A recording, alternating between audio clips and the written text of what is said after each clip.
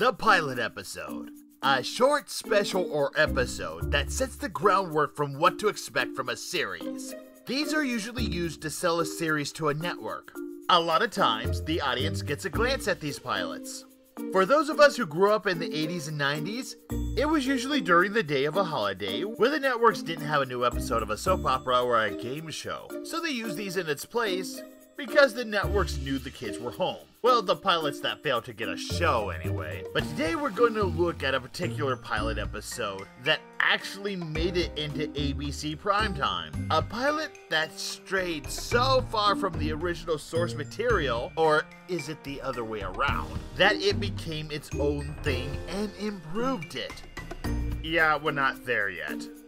Ladies and gentlemen, boys and girls, children of all ages, I am Toonamp and this is the history of Disney television animation Disney's Fluppy Dogs. As most of you know, right off the bat, Disney intended their animated series to sell toys. And that is what the first three attempts at a television animated series were. While Wuzzles didn't last too long, and Gummi Bears made it through six seasons, Fluppy Dogs fell flat on their face right out the gate. Maybe it's because the toys look like this? That is a mop. They are trying to pass mops off as stuffed dogs. The Fluppy Dog plushies were made by Kenner because Disney is loyal to no company but themselves. The copyright is indeed Disney, although, at times, I can't seem to find the Disney name on the boxes. At least, not in this photo. So based on copyright alone, I'm guessing the Fluppies were a Disney idea. The toys came out around Christmas of 1986, and so did the special. We'll get back to that in a bit. There were books and tapes telling the story of the Fluppy Dogs, and boy do these books and tapes and the toys themselves have nothing to do with the special outside of the name Fluppy Dogs. And maybe the character designs. We'll get back to that. The earliest copyright I found for the Fluppy Dogs was in October of 85. It was basically visuals of the characters and a temporary name, which was just the color of the dogs. The names that were given for the special were copyrighted around October of 86, a month before the special came out. In any case, we got two different versions of the Fluppies. Somebody's coming! Quick, get rid of this stuff. Them.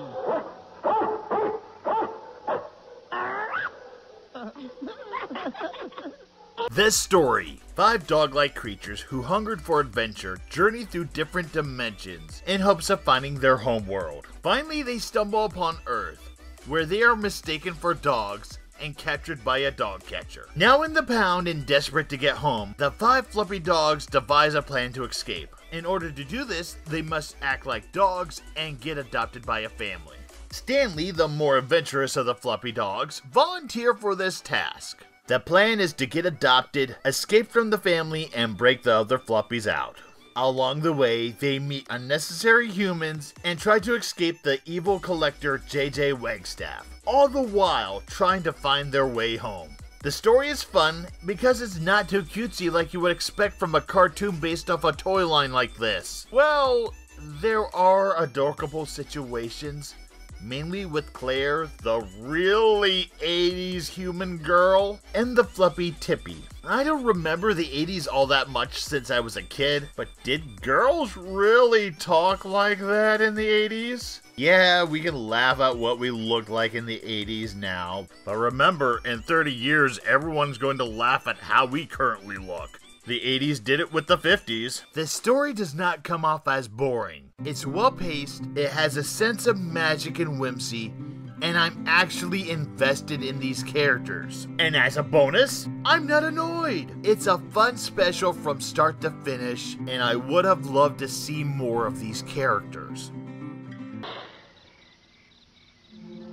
Tippy! Tippy! Oh, oh. Tippy, is that you? I think so. What are you? Don't ask questions. Just get on before Claire sees us. Quick!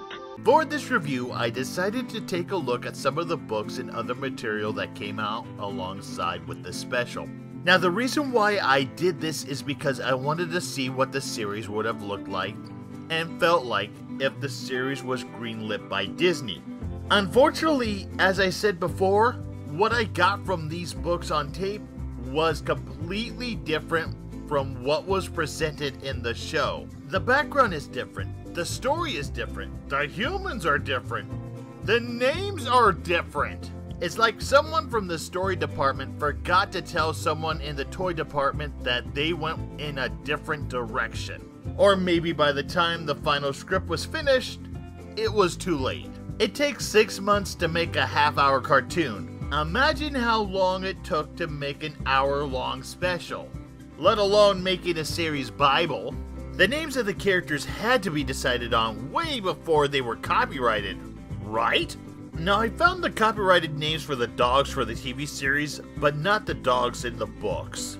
And the toys. The earliest copyright I found for the books is in September of 86. So either there was a lack of communication between Disney, Kenner, and Western Publishing, or they decided to do their own thing. The books are pretty much all a slice of life episode, with no real threat outside of being basically a dog's life. Not really interesting to say the least. But I'll give you some of the background of what the official merchandise says about the toys. Once upon a time, in a magic pet shop, there lived six fluppy dogs, each with a pom pom nose, satin bows, and fun to tie up hair. A snuggly, soft, fluffy dog was to be your best friend.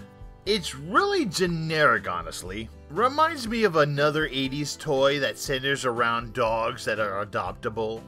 But that's from the toy box perspective. Here's what I gathered from listening to the tapes of the stories. So, pretty much what I found is basically slice of life stories of the six dogs. I think they added more dogs later on. The dogs are named Connie the Cuddle Flup, who turned into Tippy the Purple Lovely Fluppy, Baxter the Brave Flup, who turned into Stanley the Blue Loyal Fluppy, Cliff the Cool Flup, who has a New York accent, so you know he's cool. Who was turned into Ozzy the Green Cool Fluppy, who has the voice of a timid Garfield. You have Sharon the Shy Flup, who was turned male and into Dink the Red Playful Fluppy. There's also Sally the Silly Flup, who is turned into Bink the Yellow Shy Fluppy. And you have Francine the Fancy Flup, who apparently died during dimension hopping because she wasn't in the show at all. And they have a human girl, Barbara, looking after them. The Fluppies do stuff, average, ordinary stuff. It's the day of a life of dogs who look like mops. Honestly, there's not really much of note about this. No magical pet shop. I don't even think there's any magic involved with these books. Cut and paste generic storytelling that's really bland. Perfect for preschoolers, but if this was the concept that was the first idea, then it's no wonder Disney wanted to make a change. If this came out after the Disney concept, then all I could say is wolf. You can talk. I wish you wouldn't keep saying that. I've been talking since I was three. Animation. As always from the early Disney stuff, the animation is fluid. Not as good as the movies, of course, but still really good. That's TMS entertainment for you. The character movements, the backgrounds, the special effects, it's classic 80s Disney television animation. And as a bonus, the fluppy dogs don't look anything like the toys. Well, maybe a little bit close, but they don't look like mops in the series, and they don't look like they're generally geared towards girls. Now, there is a problem that another YouTuber who reviewed this special, named Mad Munchkin, pointed out. The dogs look almost exactly alike. That is kind of the problem when you base this series off of a look-alike toy where there's a few differences outside of the toy's color. But that's not really the fault of the animation itself. It's the fault of the original concept. I do love that Disney did attempt to try to differentiate the dog's look by adding clothes. You know, hats, jackets, and whatnot. It helped a little, but not by much. One of the more interesting things that I noticed is this is one of the few series or any animation to come out of Disney that's set in the 80s that have humans in it. It's interesting to see Disney's interpretation of the 80s trends in clothing, hairstyles, and dialogue. I mean, the only movie that Disney has that's set in the 80s is Oliver and Company. And yeah, you have some specials like Totally Minnie and Mickey's 60th birthday, which kind of gives you a glimpse. I'm talking more about how the humans look, and not so much the anthropomorphic animal characters. Oliver and Company does come close though. And yeah, I know the Rescue Rangers are set in the 80s with humans, but that series was more timeless than it was using any of the 80s trends at the time, except for maybe Gadget's jumpsuit. So, with that said, the 80s human characters in Fluppy Dogs, well, they could have been a lot worse.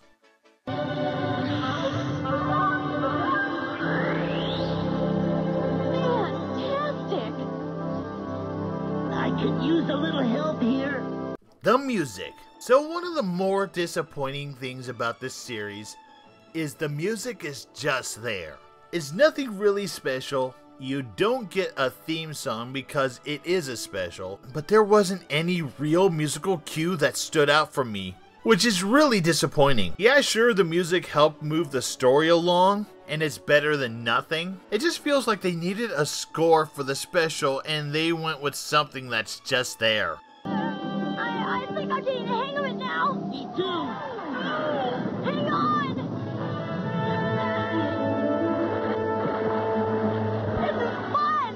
This is adventure. We'll return after these messages.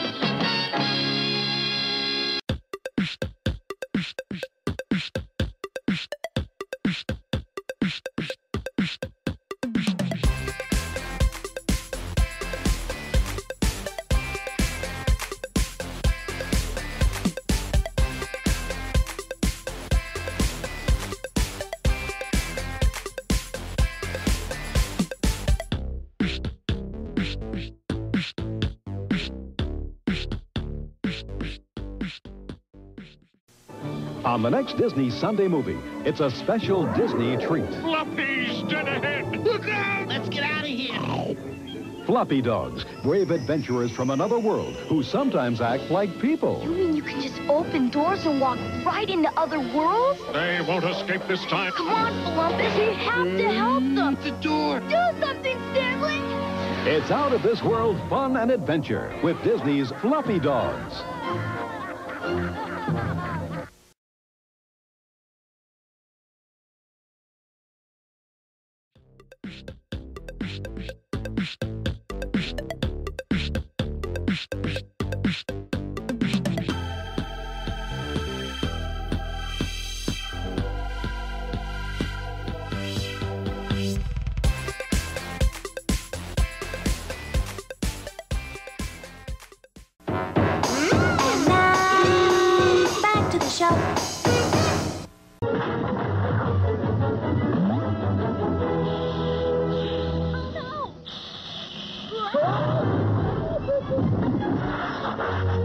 Characters. Now we get to the biggest problem with this special, and it's the characters. Honestly, it's not really the fault of the special as much as the fact that this was intended to be a series, and we could explore the other characters after the special.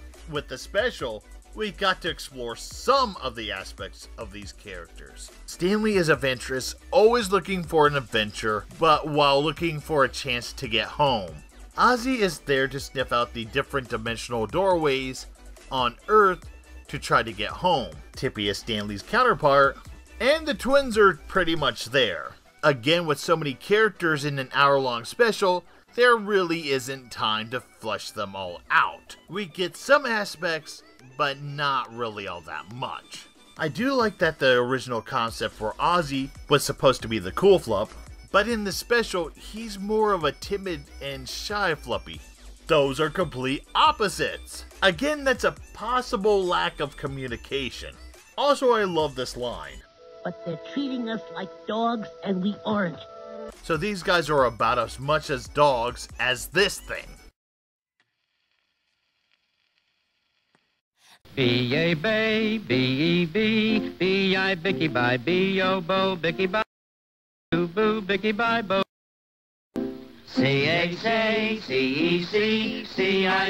It also proves that all those commercials promoting Fluppy Dog toys are treating the toys wrong. You're not supposed to treat them like dogs. That is profiling, and that is wrong. We also get the unnecessary human trope named Jamie because dimension hopping dog like creatures in a world they don't understand, so they need human guidance. Also, the series needed a character to react to all the trouble the Fluppy Dogs get in after opening these dimensional doorways. By the way, I love the dynamic between Jamie and his mother. Because all the trouble the Fluppy Dogs are causing for Jamie, his mother is not about to let it slide.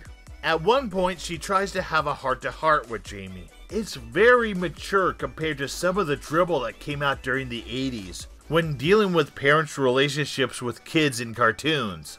We also get introduced to Jamie's neighbor Claire, and that is because Jamie can't keep Tippy, who he just bought from the pound, so he gives Tippy to his next door neighbor. There is some indication that Jamie and Claire do not get along with each other, thanks to this line. Tell you what, why don't you see if Claire next door wants her? Then they can be neighbors. Claire? Mom, she hates me. But you don't really get to see that tension in this special. It's really just a throwaway line, because these two get along really well. And then you have the bad guy, the evil animal collector hunter guy, JJ Wagstaff. He's a big business guy with a lot of money, so automatically he's bad. Why is it that characters with a lot of money always end up being the bad guy? I'm surprised Scrooge McDuck isn't the bad guy. Anyway, Duke Igthorn's great great grandson discovers the Fluppies and decides he wants them for his own. So, what are you going to do with them? Just have them in a cage and lock them up? Well, they talk. He could force them to do rap battles. Or is he going to Cruella de Vil them? Mount their heads on the wall? Which is kinda tasteless considering I don't even think people who trophy hunt put dogs' heads on their wall. JJ Wagstaff is really average. He doesn't stick out. He reminds me of an older, more even tempered Duke Igthorn. He's not terrible, but he also isn't rememberable. Again, pretty much the entire cast is kind of bland, and that's not really the fault of anyone on the staff, simply because pilot episode of the series that never took off the ground. The world's finest collection of exotic animals. And now! Broadcast history.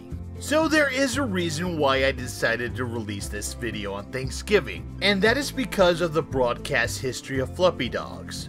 ABC broadcast the special in prime time on Thanksgiving Day in 1986. I've seen news articles that the reason why this series didn't take off is because of lack of interest and low ratings. Well, that's what you get for airing a special on one of the biggest travel holidays in the United States. Why would you do this? It's like Fox airing a new episode of Bob's Burgers during the Super Bowl. No one is going to be watching. ABC shot itself in the foot by doing this, and Disney for allowing ABC to air it on Thanksgiving. So the show never actually happened which may have been a good thing. It would have started in 1987, which was not a good year for ABC's lineup. Well, that's if the show was going to be on ABC. ABC's lineup in 1987 kind of felt like it was geared towards babies. You had Care Bears, My Pet Monster, Little Clowns of Happy Town, Little Wizards, Flintstone Kids, all of which were canceled the following year. Well, Flintstone Kids came back in reruns, and that is because John K. happened to Beany and Cecil. Yeah, sure, you had staples like Weekend Special and Animal Crackups, and you did have two very popular shows in the Bugs Bunny and Tweety Show and The Real Ghostbusters. But that was pretty much it. Although ABC also had a series that the Fluppy Dogs could have been considered ripping off.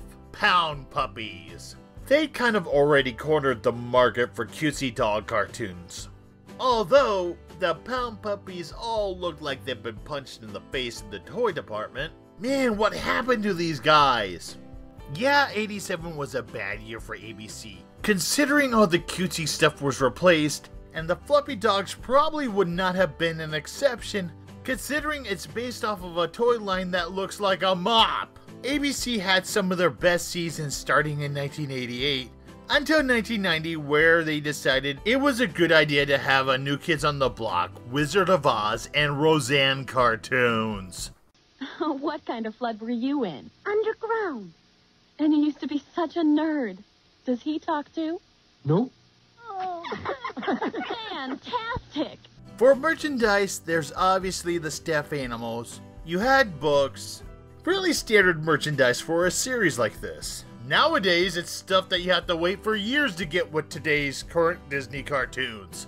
Unless you're already an action figure or you're a Disney Junior cartoon. I'm never going to let that go. As far as the series continuation goes, I decided to take a look at some of the books to see if I could get a feel of what a Fluppy Dog series would be like. They were no help because they were completely different from what the special was. But I did discover on the Fluppy Dogs Disney wiki page that somebody put up some of the highlights of the Fluppy Dogs series Bible. And it's very interesting. The Fluppy Dogs headquarters would be in Stanley's doghouse that goes into a treehouse. It would have computers and wires and monitors and all kinds of tech. This series' adventures would range from getting Jamie out of trouble to dimension hopping or dealing with some kind of trouble that the dimensional doorways would bring from other worlds. They would have some villains like a dog catcher and a news reporter, and it would have been fun.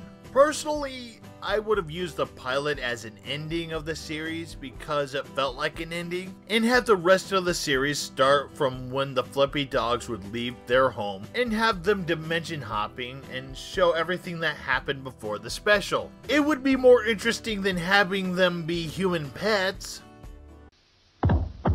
Three of them. I have three fluppies.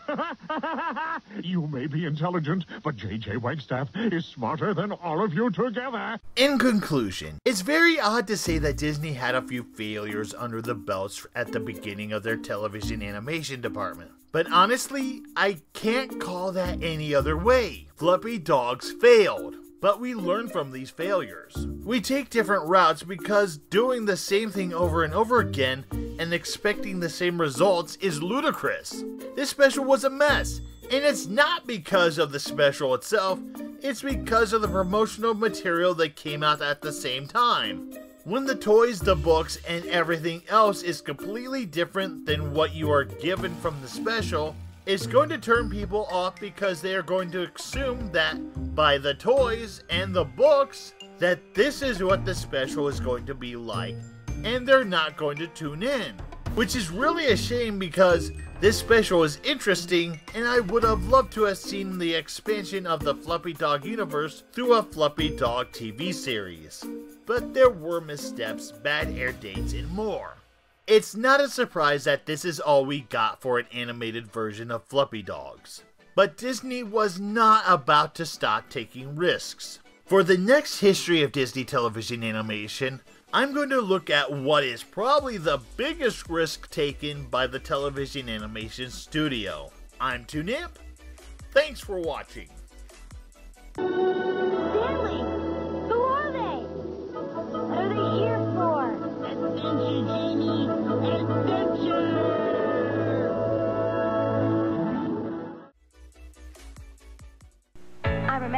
First met. Me and my favorite pet. Oh, they call it fluffy love. Introducing the Fluppy Dogs collection. She wagged her tail. We were face to face. I thought, this dog has taste. Oh, they call it fluffy love. I said, wanna go out? She nodded, yuck. I got hooked on a fancy flock. She's got everything I want. I love that little debutante. Fluffy love. Pink Fancy Fluff from the Fluppy Dogs collection. New from Kenner.